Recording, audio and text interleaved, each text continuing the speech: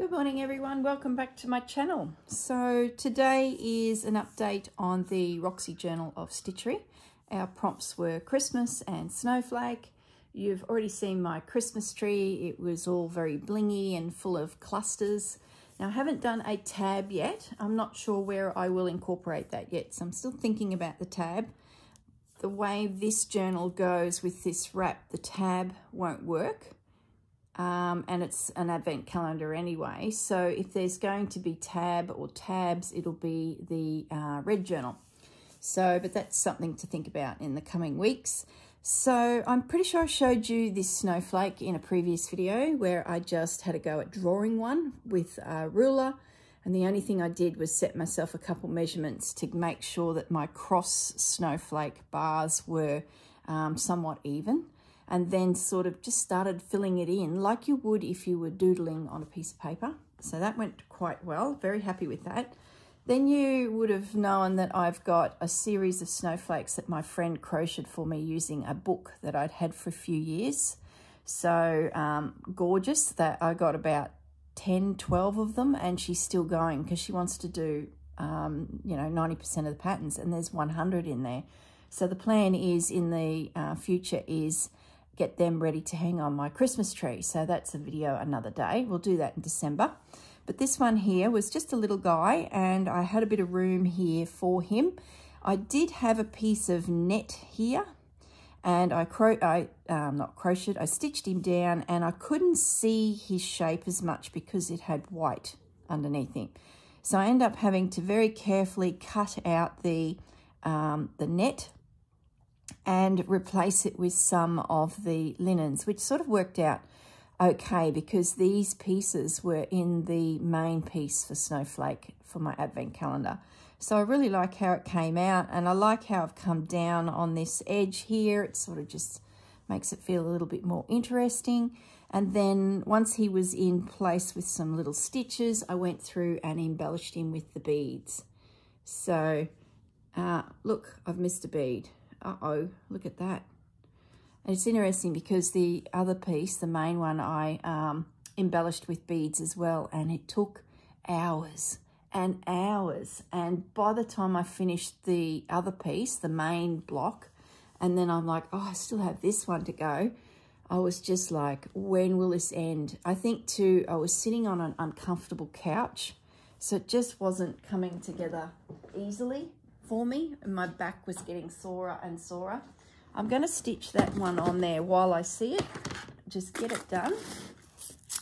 So just bear with me as I quickly grab a few supplies. Then I'll show you the piece inside. I just like to know it's done. Otherwise it just bugs me and if uh, the day rolls on, which I believe it will, I've got a pest controller guy coming. So I think he'll be here at about 11 o'clock and I still haven't finished pulling as much as I can away from walls to sort of allow him to place a bit of a mist in nooks and crannies where all those critters live in nooks and crannies. I don't like spraying too much like, you know, supposed to do it every year, but I don't.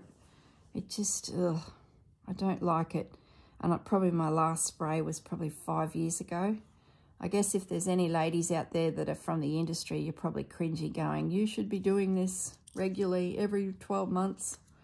And I probably should, but I'll try and avoid it if I can. And I sort of wait till I start to see the creepy crawlies. It's probably not the right thing to do, but I'm starting to notice those little house spiders everywhere Daddy long legs are starting to creep in, so they're obviously eating the little house spiders. And ants, ants, ants, ants. And they're probably in the last month, the odd um, dead cockroach has turned up. Disgusting things. And they're in spots like behind your, um, uh, what do you call it, washing machine. There was one in front of the washing machine. So I don't know if he just got lost as he come in from outside or he's got a uh, Spotty lives in back there or he's just cruising around. I don't know what his story was, but he needs to be, well, he's dealt with now. So, and he was actually um, actually dead. So I'm guessing there's still some residue around from five years ago from my last spray. How did I get onto this topic? Seriously, you guys don't want to hear about cockroaches. Okay, there we go. I've got my little seed bead in there. So there's little series of seed beads and then the, the bigger ones in the three different colours. And this particular snowflake, I could play a little bit more. And I bought the champagne sort of colour in to pick up on, um, you know, the little hint of champagne throughout. Okay, so let's open up my piece and let me show you my snowflakes. And then we need to make a number three. So let's have a look. Whoops, it's upside down. That was dramatic drum roll and then it went wrong. So there's the reindeer and of course number one, number two, the wreath and the little number two and the snowflakes. So there's my piece guys. As I predicted in my first video, I was going to just lay down all of these linens and then just um, boro stitch across everything or ditch stitch or, you know, running stitch, whatever you want to call it, depending on what um, country you're from. That is my background. And then I selected three snowflakes and then embellished them with beads. And you can see why it took so long. It was just a case of working my way around that snowflake, just stitching into place. I'm looking up at the TV as I show you. So I'm just waiting to see if I've missed a snowflake bead, but I think I got them all. It was fun to start with, but by the time I got to this third snowflake, I was like, oh, will it ever end? The little string that was left on each one from where Marianne finished the last stitch, um, if the stitch was in the center here, the last stitch and the string was out here, I just sort of wove it behind and then took it straight up and then I just couched it down. So they're technically hanging snowflakes like from a Christmas tree, more so than snowflakes in the sky. But having said that, the blue in behind sort of reminded me of the night sky and it sort of gave it a something to pop from. So I've got my buttons in place ready to catch the piece that goes on top. And um, just to lift it and jazzy it up a little bit, I end up going through and stitching in some little snippets of the lace as well. And I sort of felt that it sort of blended the background to the snowflakes because they were so glamorous and the background was so neutral that I sort of felt like it needed, you know, a little, little extra something. So now I'm looking for a piece of calico. I thought there might be something pre-torn, which it doesn't seem to be, because I need to do the number three. So let me just make a little bit of space, because it looks like I need to snip and rip some fabric for this section. Okay, so I need it to be a little bit bigger.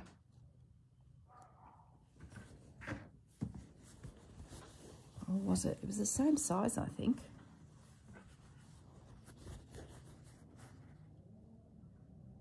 Yeah, it was. I did notice that because there's so so much stitching on that piece, that um, it pulled it in quite a lot. So it's actually a little bit smaller than this wreath, for example. So yeah, that, that was interesting that your piece will cinch in, you know, quite a lot according to, you know, the type of stitching you do, I guess this is what I'm trying to say. Okay. Just going to snip that. I must show you to a pack of fabric that I purchased from Susanna from um, Vintage Blend Studio. So I got that right. Always get that name wrong. I don't know why. I remember Susanna, like her first name. Always seem to stumble on her business name, which is silly. I've been watching Susanna for many, many years.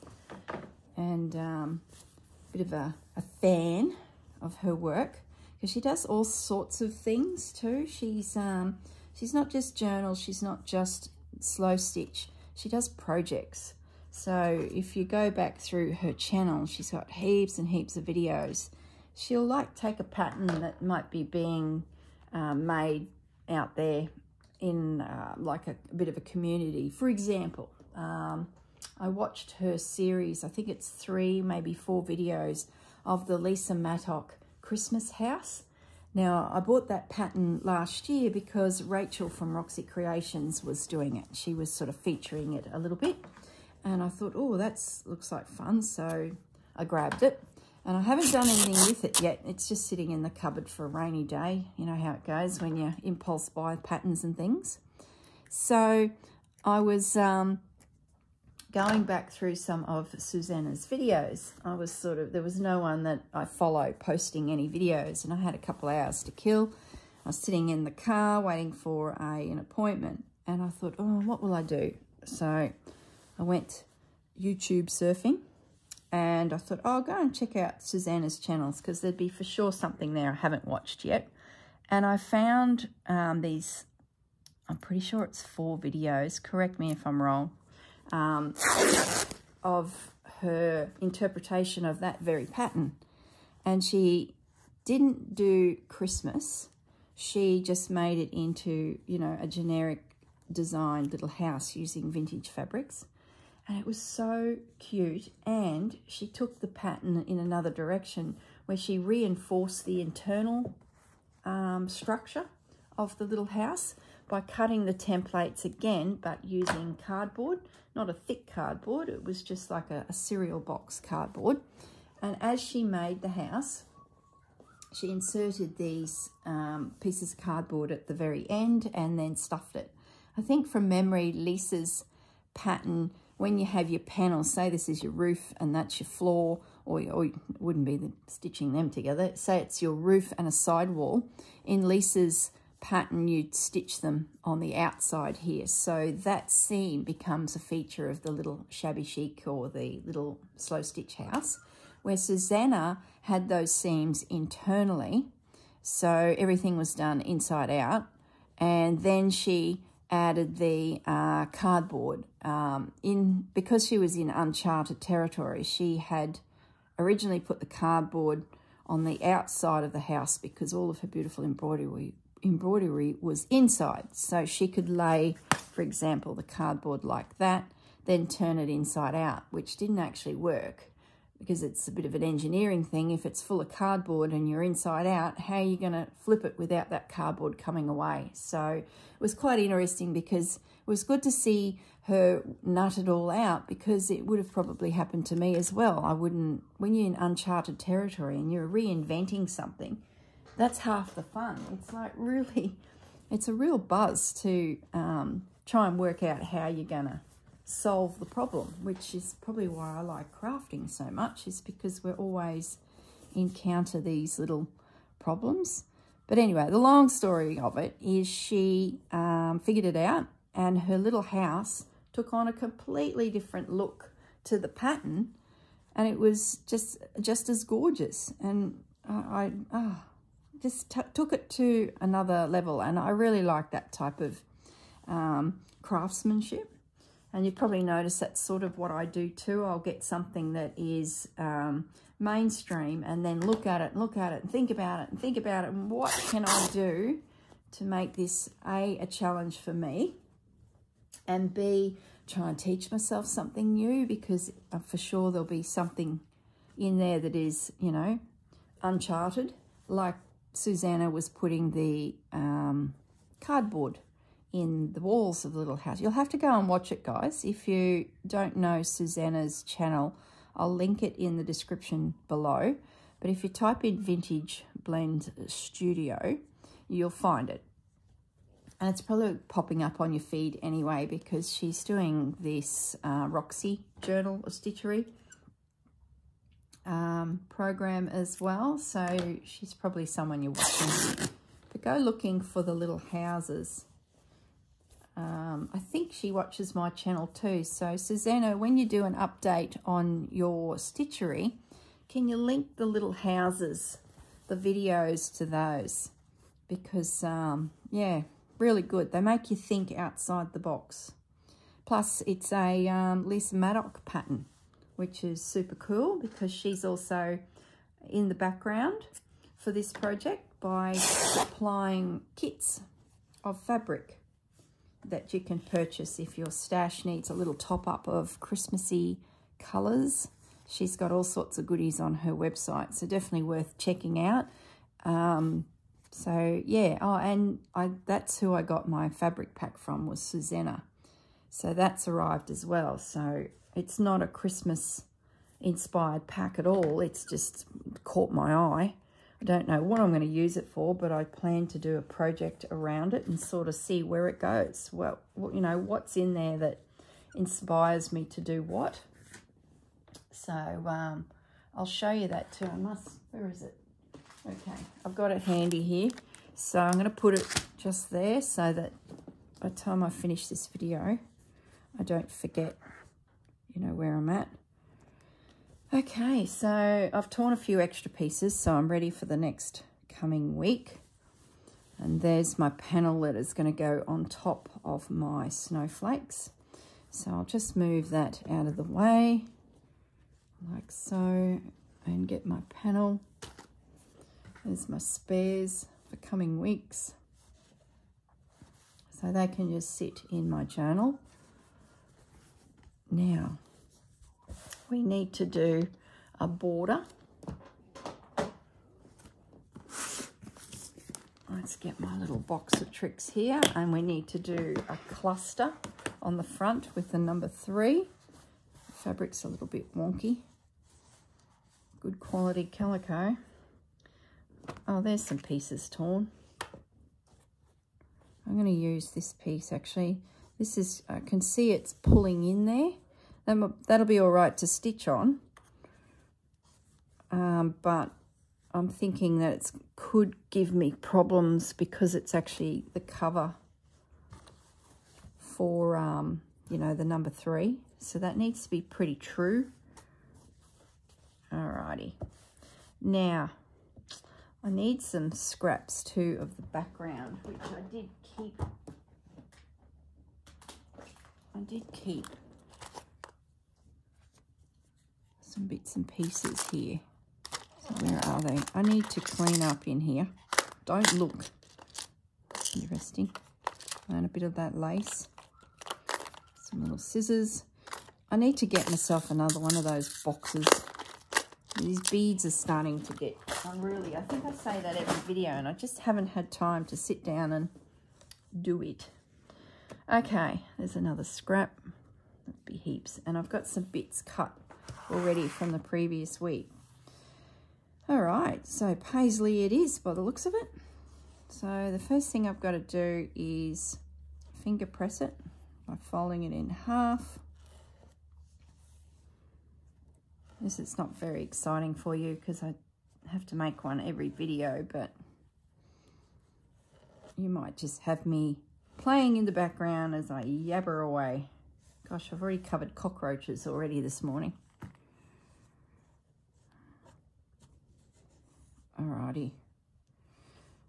You know, the first room I lifted everything up and made sure was ready to go was my craft room. There's my priorities for you. Can't have any nasty things in my craft room. I'll have to make sure he does this room. Maybe get him to do it twice, just in case. I'm not too worried about everywhere else. oh, that's funny. Alrighty. So that's that little section done. A couple more pins. I've been so busy, busy filming different series. It's been so much fun. I've just finished, I finished the Edith Holden one last week. So you're all watching that at the moment. And the journals that came from that. That's a nice long piece. I might use that there. Maybe I'll make this edge very moody dark because the background. So, yeah, I've um, finished the Edith Holden last week, I think it was. And it's like nearly 20 episodes. So it was just an epic. But it was four journals. And one of them was actually a journal for future stitcheries. Um, would be suitable for this project. Two were using a paper bag and making them into two journals. And then the other one was, um, um, I've just gone blank, a standard sort of journal, like what I would make if I was doing a piece for a gift. So something quite interactive and, yeah, full of space for them to play and little hints of things throughout it to help them along their journey on um, learning, you know, how to use a journal. So that was a bit of fun. I might have to cut another piece. Or do I use that paisley? This one. I think I will. Otherwise it'll be too dark and it might look a bit odd because the other pieces don't follow a certain blue. They sort of are mixed up. So Edith is in the can, as they say in Hollywood. The film is finished and it's in the can ready for the editing. Well, I've done that. So that's my professional speak, which just cracks me up. My husband says, you know, what are you up to? And I'm saying, I'm just getting more episodes in the can. Oh dear, oh dear. This YouTube world's just opened up a whole new learning for me from how, how to edit the videos, which I barely do, to be honest. I just hit play on my iPad and just talk I've got a, a stand that holds it above me, which seems to be working. It does tend to topple if I bump it. So I've got sitting on it now. It's hilarious. You know the walnut shell that you would use if you were making a pin cushion. See, that's another project I haven't done yet. When you were all making that um, long slow stitch cushion for pins, pin cushion. And um, the girls recommended walnut shell to go into it. And there was just none around. I think everyone was ordering it and it just vanished. And I'd seen it in shops and I was like, what, what would that be in a sewing shop for it? I just never put two and two together. so I managed to get some from um, I think it was a store in Hervey Bay. There was some online, but this was at Hervey Bay, and I thought, oh, I'll order it, and then I've got it. And my plan is to make a slow stitch something with it inside for the pins. And the reason it does be, um, the reason it gets used is what I'm trying to say, is as you put your pins in, it sharpens the pins, which I thought was, you know, one of those, ah, is that what it's for? I thought it was a weight issue but it's not. It sharpens your pins. And I think you can pick it up in pet shops too because the reptile industry, the lizards and things, they use it as the substrate in the um, aquarium. They, well, they don't live in aquariums. The tanks, the glass enclosures that are heated for the lizards.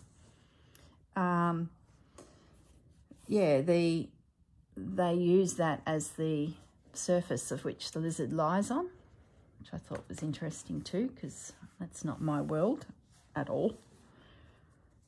So my stand that holds the iPad has a bag of walnut um, walnut shell on it.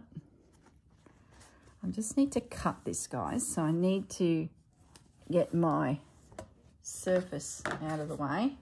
Just bear with me, I need my measuring ruler and I'm going to just come off camera a little. Where's my rotary cutter? Here it is. And I need to cut this piece in half. It just so works out just perfectly because the the jelly rolls are pre-cut at two and a half inches. So if I cut this at one and a quarter, it's exactly half. So I'm just going to come over to my mat that is to the side of me where I can cut onto that rubber and not um, ruin on my blade, which is pretty dodgy to start with. I really need to change my rotary blade. But I should be able to cut it. Oh, it's so blunt. I really need to. Oh, it doesn't even cut anymore.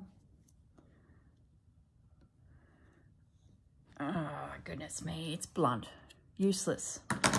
All it did was crease it. Didn't even... I wonder if I can cut it with scissors. How bodgy is that going to end up looking? Yeah, bodgy. Okay, I bought that. You get the general gist. I'm going to go and buy myself a rotary blade for my um, little apparatus. And then I can cut another piece. I don't think there's one in my bucket from previous weeks. Is there one in there? No. Oh, hang on. What's that? Oh, they're too small. I've got three little bits that are too small. Bugger, bugger, bugger, bugger, bugger, bugger. Yeah, no. Okay. Forget about that. Let's go on to something else because you know what I'm going to do there. I'm just going to whip around with a uh, needle and thread like I did previous weeks and just do a running stitch to secure that into position. So that will happen. Now the next thing I need to do is um, cut out a number uh, three so I'm just grabbing my box where I have all of the um, numbers. So if you're doing the advent calendar, you'll all be working on a three, maybe a four if you were doing an extra couple. Here's my template, an extra couple um, panels. My greaseproof paper. So I'm just going to trace my three out.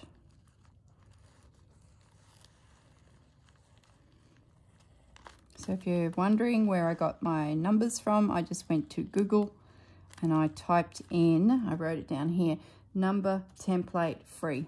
And this popped up. I'm going to cut the four out while I'm here in anticipation for next week's prompt. Oh, won't it be good to have a new rotary blade for that thing? I've been struggling with it for a little while now. And it looks like it's finally, finally gone. Okay. So let's just rough cut. Will I get another digit out of that scrap? Then I can chuck it. Yep. All right, let's... What happened to my pencil? I'm going to do the five as well. And then I can throw in the bin that little piece of paper.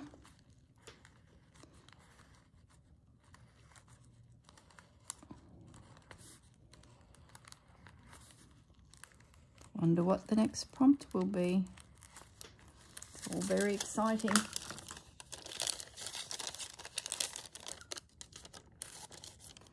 Use the bigger scissors because I want a fairly straight uh, straight sides on these numbers. Because I've drawn it with a pencil but I can see that I'm a little bit on the wonky side in those straight lines. So I'll just use the bigger scissors so that I can get a, a more true straight cut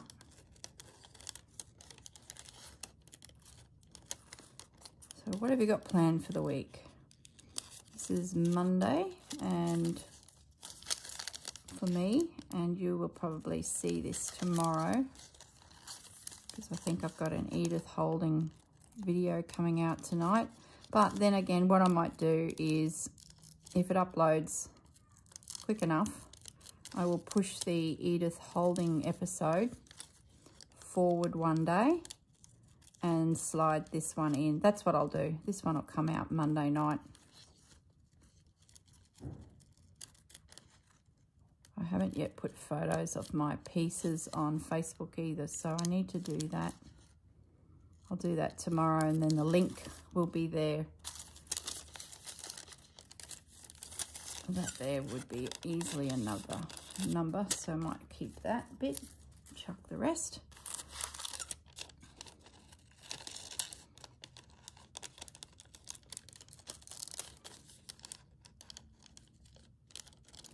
I do need to get some blue buttons too. I'm whipping through the blue buttons.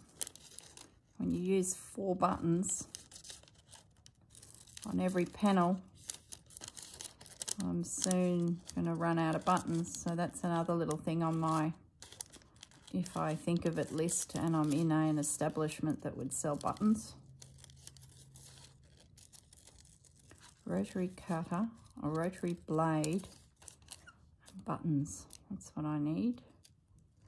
Sounding like a trip to Spotlight. I'm sure there's something else. Oh, I've got some shortage on the blue cotton too that I'm using for this particular project. It's a um, crochet crocheting cotton, but pearl cotton. And it is the number eight. So I do a lot of embroidery with that size. And the blue that's going with this project, that's what the snowflakes were stitched in, the words. It's just the one colour I'm using throughout the whole thing. It's tied all together. I'm getting very low. I've done a lot of mileage, especially the stitching down at the background of that snowflake piece. There was just row after row and row and row and row.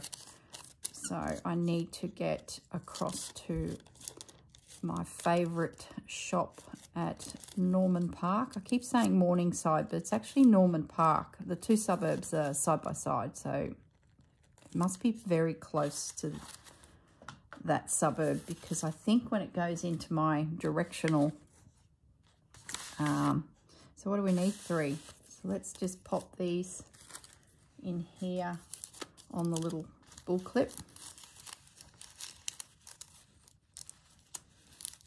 And we need a little panel to do our little piece of embroidery on so that when we attach it all of the stitching that we do on this is hidden. And we're not stitching directly onto the piece that the little edges around this one here. So I can sort of take that away and do some stitching and then it attaches. So that I need that I need scraps I don't need. Base template I don't need. Okay, so I can get rid of that. Now it's just about clustering together something that sort of pleases my eye. I did consider putting a snowflake on the front of it, but, and I thought, oh, that'll be great. And then I was off on this tangent of, you know, snowflake on front. But I sort of start thinking about the advent calendar and the whole reason for the advent calendar. I just want to open this up and have a look at one of the others just to see how I formed my structure. Okay, so I put down a base of the one colour and then build accordingly. See that? So I'm trying to keep a little bit of uniformity there. Okay, so we need a strip and then we need a digit.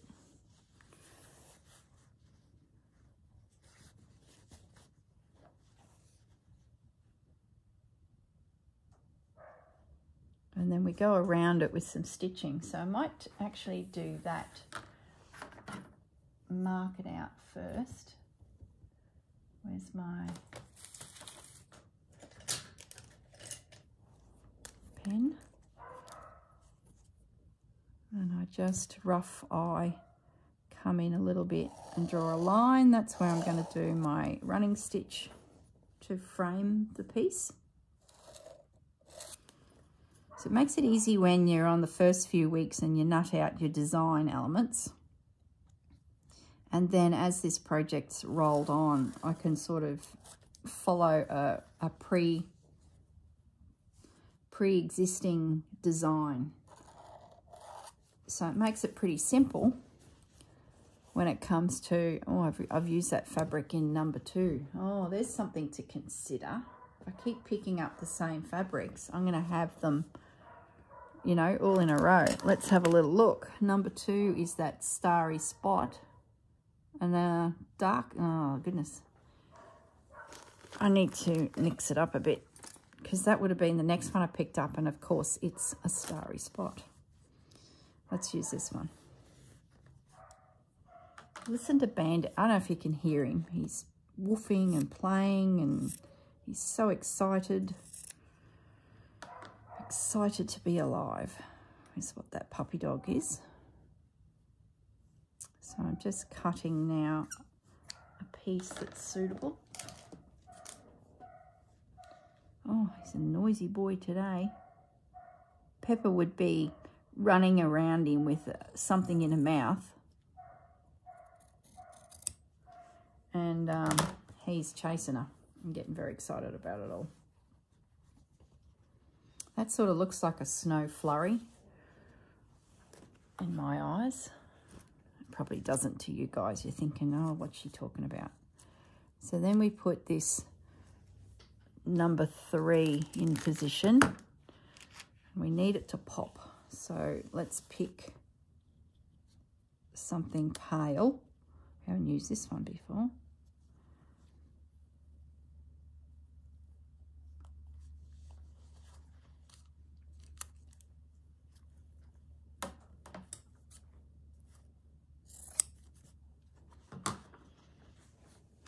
Hello, Bandit. He's at the window looking at me. So I just need to now trace around my three, cut it out, stitch it down, add a few more decorative elements using the scraps from the piece that'll sit underneath, which is all those gorgeous linens. Gee, they were nice to stitch through. Really nice. Made a change from this fabric. This fabric's new. So it's just, I don't know, it just doesn't have that same tactile feeling that linen has. And some of the older cottons and that that we pick up that have a bit more of, I don't know, they sort of feel like they've been loved. Does that make sense? Okay. So now I've just got to fussy cut out my little number three. And then I just do a running stitch through the center of the three.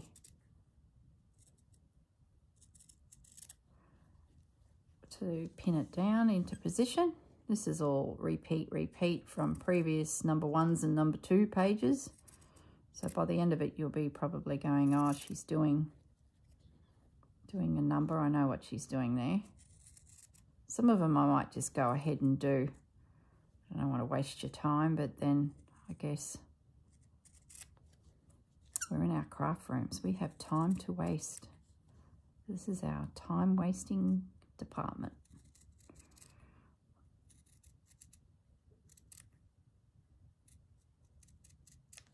Okay.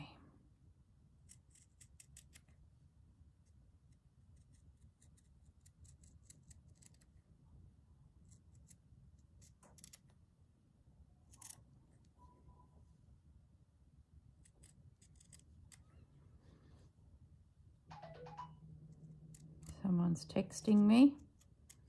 I'm concentrating on getting my number three looking like a number three. There we go. That was a bit tricky. It's no number one. Okay, so that will just sit like so. So I can position that little guy. And then it's just a case of what scraps do we have? How do we lay them down so that it looks interesting and is a hint of what may be revealed underneath. That's all this is about. It's like a little snippet, a cluster.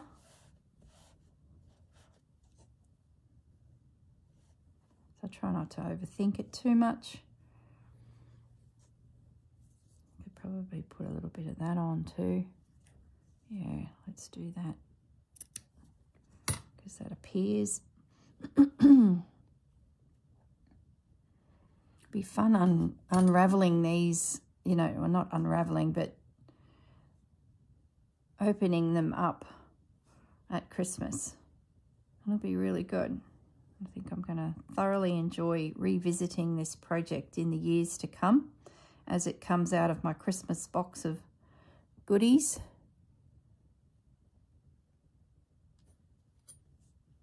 Where's my pins? Pins, pins.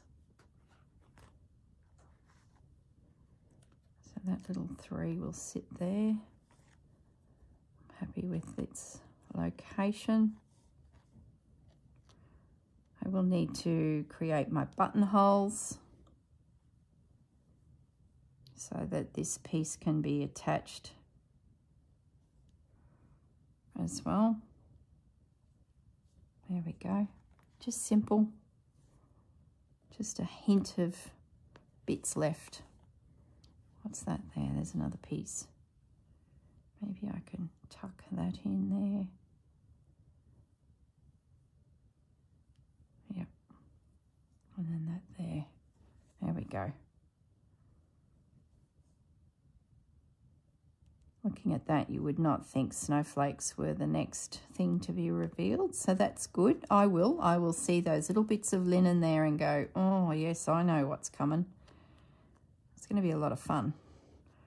Okay, so there will be um, a running stitch come down and through the three as a bit of a highlight treatment, and that's using the blue that I need to buy more of that is right through the whole project. There is then um, a running stitch that will go around the inside edge of everything as well. So that looks really good.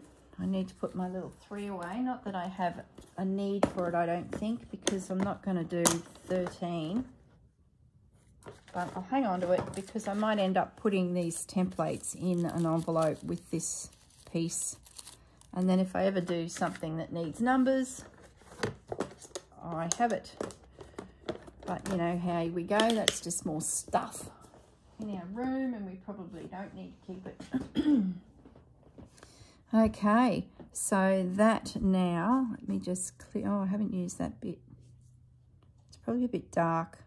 Yeah, it's a bit dark and it's not going to pop on that. So we won't use that this time. I'll pop that away in my little box of tricks. I don't need the pen. So where's my back piece? So that will then attach to there, which then will go, oh, then I need to do my buttonholes. So, so we might as well mark them out while we're fiddling. So I just lift the panel on top of my piece. My buttons are stitched in. So I just make sure everything is lined up and even. And then using my fingers, I just feel around until I find the button. There it is there. You can see it through the fabric. And then I'm just drawing a red line over the button, one side to the other. And that then tells me where it is underneath and I can then create a buttonhole to suit and I'm hand making the buttonholes which is just cutting a little slit and then stitching like a buttonhole would be done on a sewing machine. Stitching um, that's a big button it's going to tuck in over there but that's all good unless I move it in might end up moving that button across a little bit so it's just a case of a little snip and then stitch around all of the edges from that snip to create a bit of structure around there and it doesn't fray apart and it's just doing the overcast stitch to make it all nice. Okay, so that's as far as I can go at this stage because I do need to um, get some more thread, a rotary cutter, etc., etc. So at the end of this video, I will place um, some photos because I'll probably duck out and do that little chore. Go to Spotlight and sort that out because I don't want to hold this up. And um, yeah, so you will see a photo at the end of the video of this completed and hopefully I'll get it up and on YouTube for you. There we go. So there's the snowflakes. Number three, advent calendar bunting. Done, sort of. Now, before we go, I just want to show you my little pack of goodies that arrived from Susanna. And I also bought a pattern kit. This is the pattern kit. Now, it's a heart that you make, um, stuff it and embroider the piece of um, fabric that she's provided with it, which is this uh, photo here. gives you the ideas. Now, I'm going to be honest, I'm not going to probably use it for that. I just spotted this fabric and thought, wow, how gorgeous is that? So, I don't know what I'll end up using this for. I just loved the fabric and it was worth buying the pattern just to get that. So that'll be a project for a rainy day. Now, she also provided some backing fabric with that kit. And then this little kit is, um, oh, look at this postcard. Isn't it gorgeous? This little kit with lots of goodies in it. So just quickly show you if you're wanting a bit of a top up. Look at that. That's part of that family. Just that there. And these are sort of colours I don't tend towards. Like if I'm in a quilt shop buying scraps of fabrics, I, I wouldn't buy, oh, there's, an, there's another piece of it. Like, seriously. Oh, boy, oh, boy. I probably wouldn't buy these brights. So when I see a kit with a bit of them in, I grab it because it's not something I tend to go towards, but I probably need to force myself to do such things. So there's all sorts of fabrics in here. Just lovely. All sorts of textures. And the, you know, if you were in a quilt shop, you wouldn't buy a pack of a, a meter of that or 30 centimeters of it at least. So these packs are just fantastic to get some different colors, and especially if you pick some packs that you would not normally tend towards. Look at this, gingham.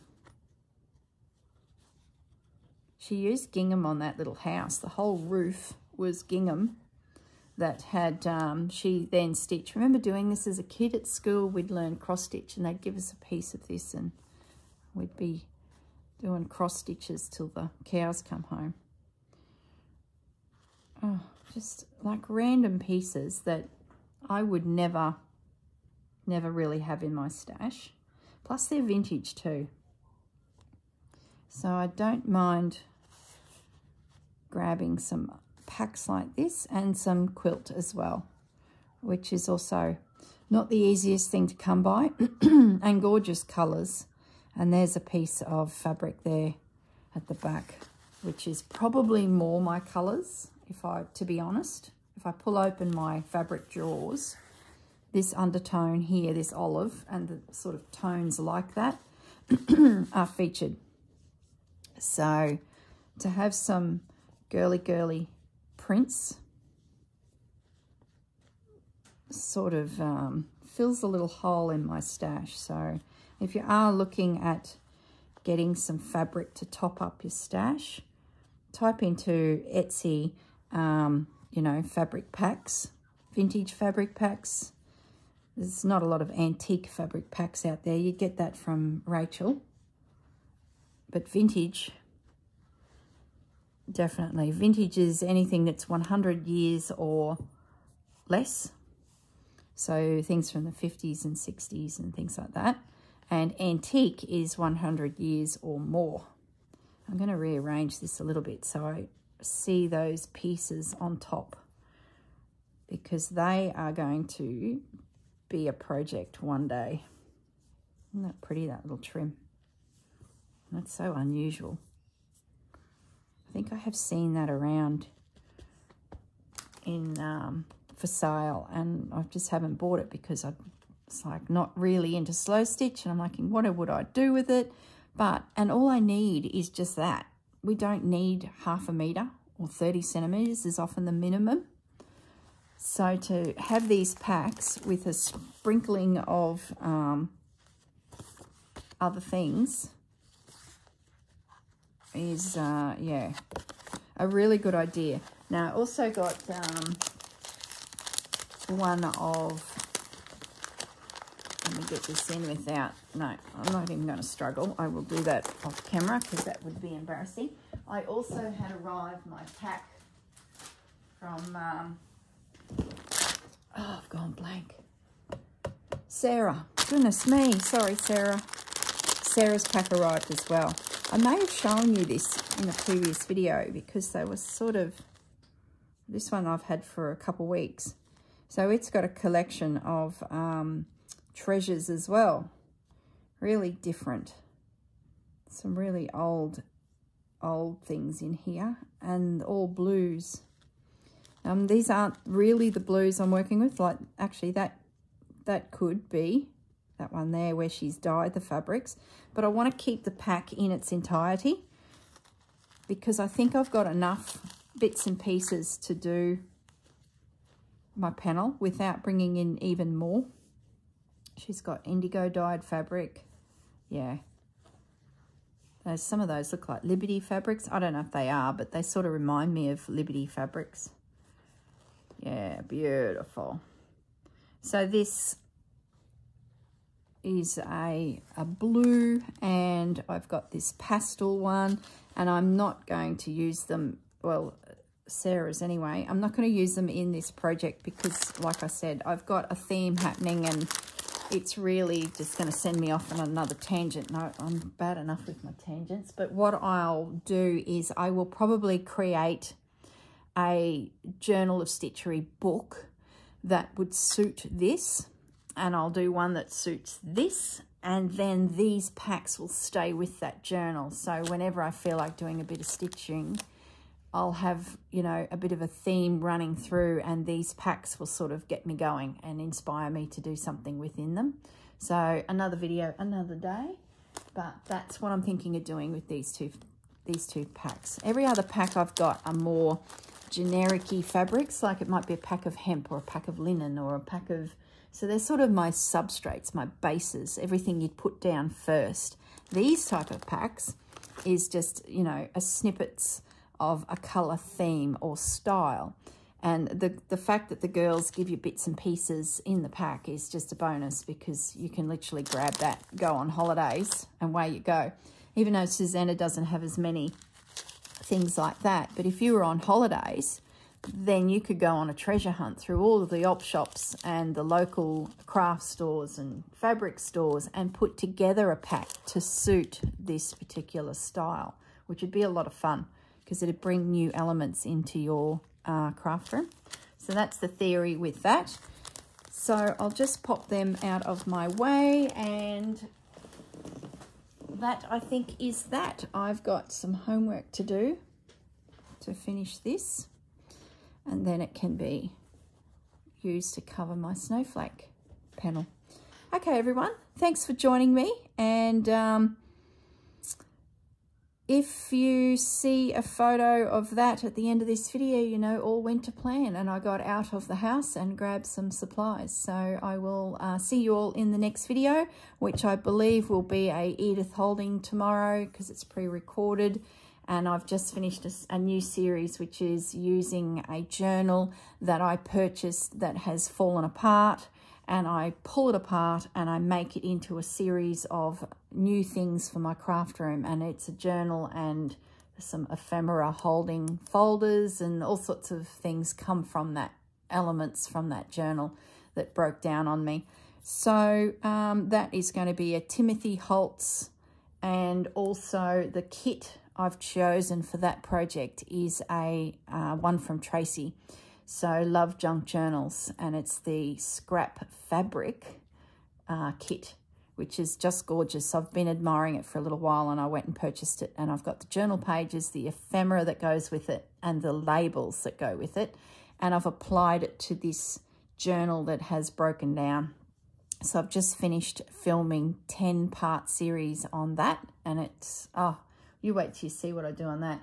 But that will go to air when the Edith Holden series is finished. And I think Edith, let's just have a little look. The Edith Holden series I know is 20 videos and number 10 went up. So there you go. Number 10 went out last night. So there's still 10 more episodes to go on the Edith series. And then the Tim Holtz series will kick in. And in amongst it will be Journal of Stitchery. So I'll sort of push the videos along and slide in one of these, which is, you know, current. So that's how it's going to roll for the next couple months. And um, I think the next series, I, am just not sure what I'm going to do. I've got um, um, the designer from the UK, William Morris. I have a pile of William Morris fabrics and kits that suit that and I'm really itching to do something there, but I've sort of got another little project that's burning a hole in the back of my head that I think I need to get out and filmed, and then I can relax into William Morris. Before we know it, it's going to be Christmas. Christmas, Christmas. Anyway, I'm gabbing on here. I will leave you all in peace and um, enjoy your day, enjoy your stitching, and yay, it's Wednesday coming soon, and we get to have a new prompt. Yes, yes, yes, yes. Okay, thanks, ladies. Thanks, girls. Rachel, Juju, and um, Sarah. Oh, that stitching that Juju's doing. Did anyone catch that at the end of Sarah's video? She had some of um, Judy's pieces that she's been working on. They met at a shopping centre and her mum brought them along and Sarah made a quick little video and popped it on the end of, I think, the last video. So if you haven't seen it, go find it. If you have missed it, please, please go find it because she is one talented girl. All right, that's it. I'm gone. Got to go and buy a rotary cutter blade. Bye for now.